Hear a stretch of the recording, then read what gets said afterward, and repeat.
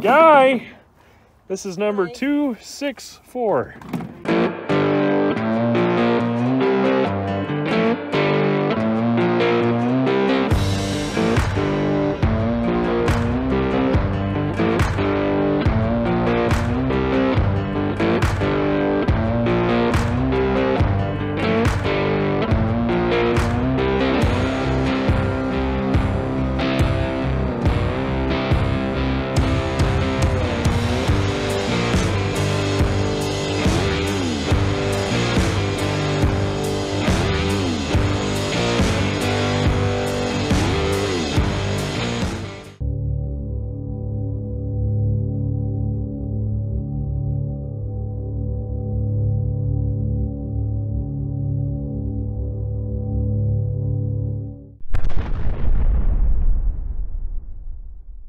Out. So this is the proper way of gl- removing glass from a vehicle. Screwdriver. I don't know about that. This is exactly how it works. Got Malachi put to work again, like usual, and I just stand here with, oh crap, thumb up my So we're gonna get some stuff off this bad boy. We're at the local junkyard. It's beautiful.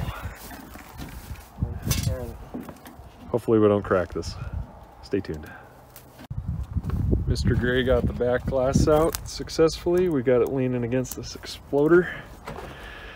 So she's in great shape. A little hard to see right now, but so now, as he breathes in some hantavirus, we're going to uh, get this door off so we can access the inside a little more because this is a, kind of a close I was only breathing out. I swear. breathe. Is it on reverse? Let's see.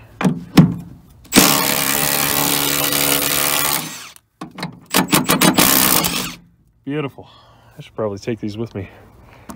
Right there. Ah. Huh?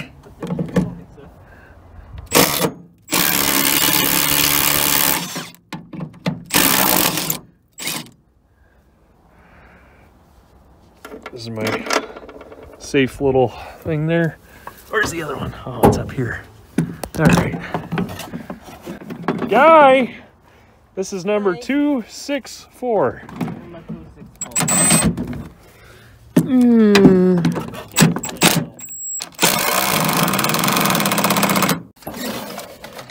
Guy, this isn't organized. I can't find any half inch. Oh, look. I found it. I'm very proud of you for not using the Sawzall. Got that out. If we actually knew how to get it at first, it would have been a lot easier. This is hydraulic. Well, that was that line that you cut.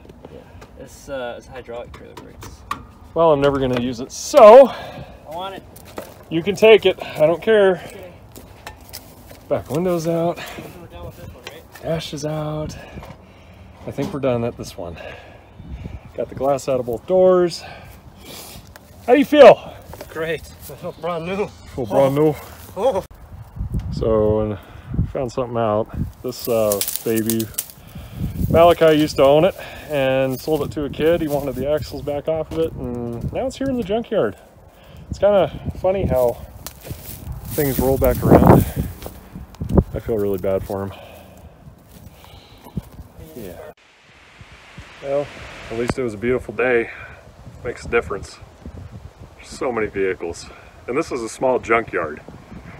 So, yeah, quite a few square body. Well, there are square bodies, but got some of the 70s Fords.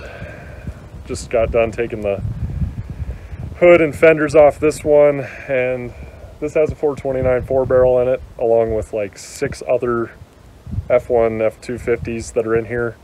Um, it's a shame half of the blocks are water waterlogged, so it's like, what do you do?